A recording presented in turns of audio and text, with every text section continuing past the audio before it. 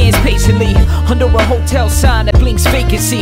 He's seeking maybe he's too late to make the drop off till a truck coming his way breaks and stops short. And now he's out of sorts. You can see he's sorta nervous walking through the passenger door to meet his ordered service. This is someone's daughter working. Blames his conscience when the driver says she's my youngest. Her name is Constance. He comments, and it's only six dollars per visit. Just don't leave any marks on her. It hurts business. Thought for a minute and confess that's fair. Since it was three dollars less than his cab fare.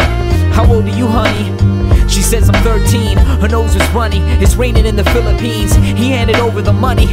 In a chilling scene, the truck drives off, and now he's on the hunt to kill her dreams. The sign reads no vacancy. He leads Constance to a room he is rented for tapancy. He's about to turn six into 6,000, and all you gotta do is click on your web browser. It's not illegal to use raping as a cash crop as long as it says she's 18 on your laptop. The sound of rain is a backdrop, laying there like she's waiting for somebody to say they care.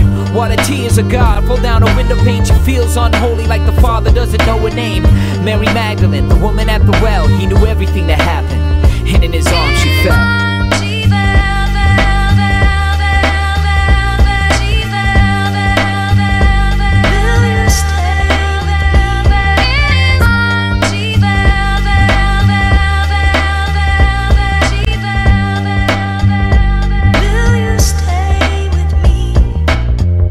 21 and all alone in his household. He's tempted by the quiet he feels and the mouse he holds. The silence of his spouse is cold, so he's about to help that man get his 6,000 gold.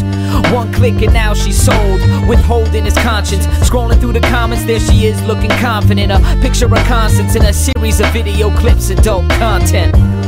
The title blinks in bold letters like the vacancy sign. It's his time to go get her. It's like his mind doesn't know better. Her soul is crying out, let me go. But he won't let her. He got her trapped inside his media player. Held captive by his need to replay her. It's a matter of he being here and she being there. That's why he doesn't feel the need to care.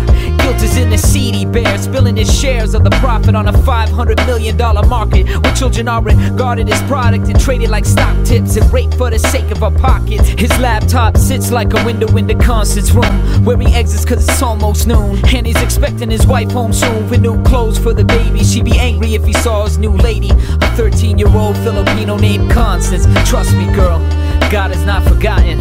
He knew Mary Magdalene and the woman at the well. He knows everything that happens, and in his arms she fell.